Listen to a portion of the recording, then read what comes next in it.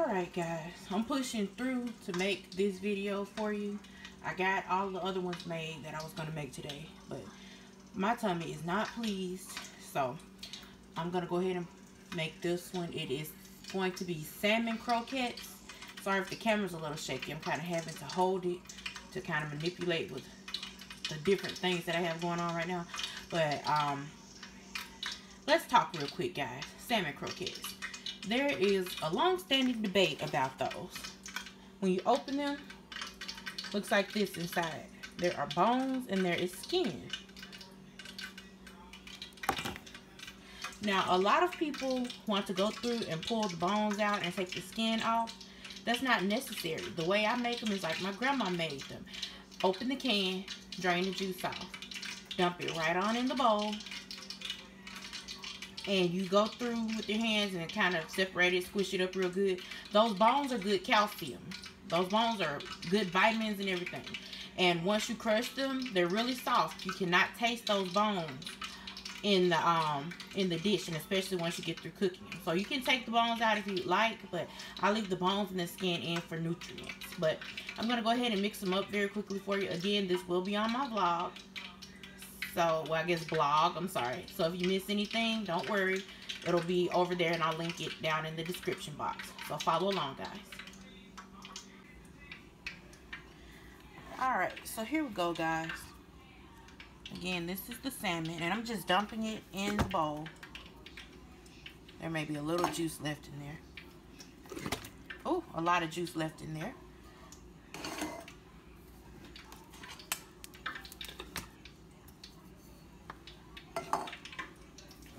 I'm using four cans. But you guys are not going to need that many. But I'm using four cans. So, if you can see a little section fell off there and the skin around there and right where my thumb is those are bones guys this i mean looks it smells nasty but it's gonna be delicious once we get through with it what you want to do is just do like i'm doing now go through grab chunks of it rub it between your fingers and you'll feel the bones as you go through and crush them as you go as you break the meat up in the skin it's going to break up as well. So you just want to go through and do that. Shouldn't take very long. And this is if you choose to leave them in. You can pull them out as well. It's just whatever you choose to do. But this is how I make mine. So we're just going through and pinching chunks of it and rubbing it between our fingers so that we crush those very soft, tiny bones up. So I'm going to get that done. And we'll be back to show you what I put in them. Alright guys, I'm back. It looks a whole lot better there. Just looks kind of like crushed up, well, kind of like tuna. So, and all I did was go through and just kind of squeeze and break the bones up and cut the, um, break the bones up and that's, um, and mix the skin in and that's what it looks like there. So next thing we want to do is it needs a little seasoning, just some light seasoning now, guys, because this already has, it's already pretty salty. So what we're gonna do is gonna go in with the little garlic pepper seasoning, just a little sprinkle.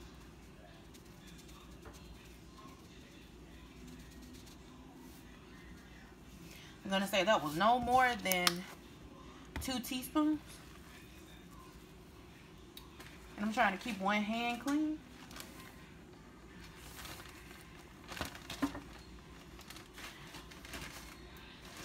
Next thing we're going in with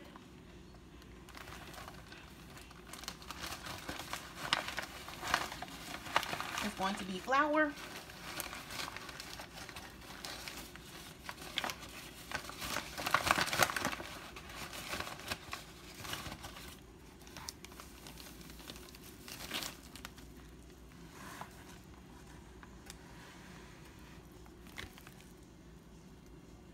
Wait, can you see it? I don't think you can see it. It's flour.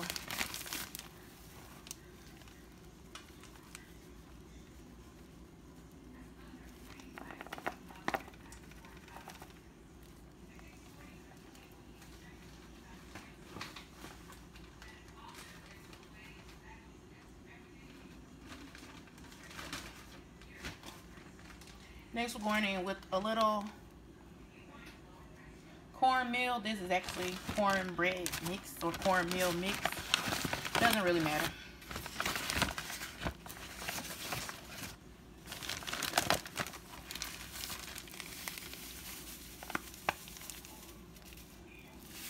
You want to go in with just a little bit of that. Now we're going to mix this until it forms like a kind of soft dough.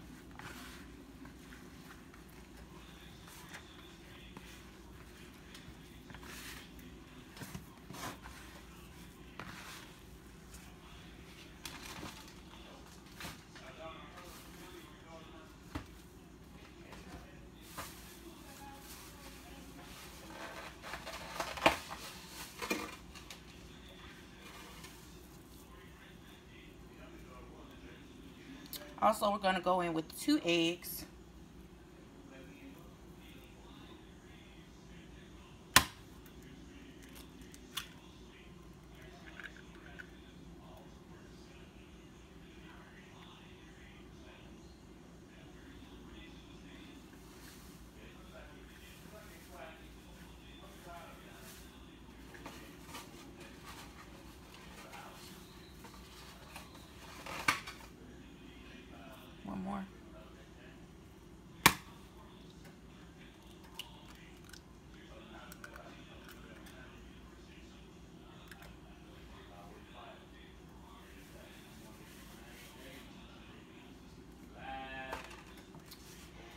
We're gonna go in with some diced onion. This is already pre-chopped, so it's about the equivalent of um a whole medium onion.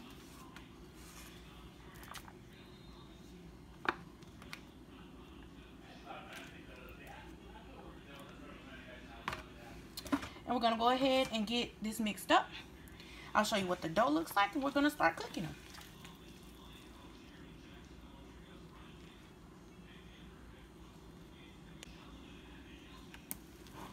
Alright guys, here's the dough. It's a little stiffer. Kind of looks the same, but a little stiffer, a little smoother, and everything's mixed in. I'm to start um, frying these up over here.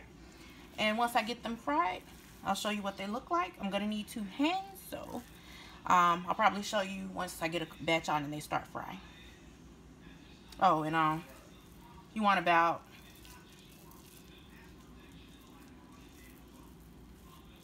about that much that's about how much I use for mine. About a palmful. So I'm going to pat these out and drop them so you can see what they look like.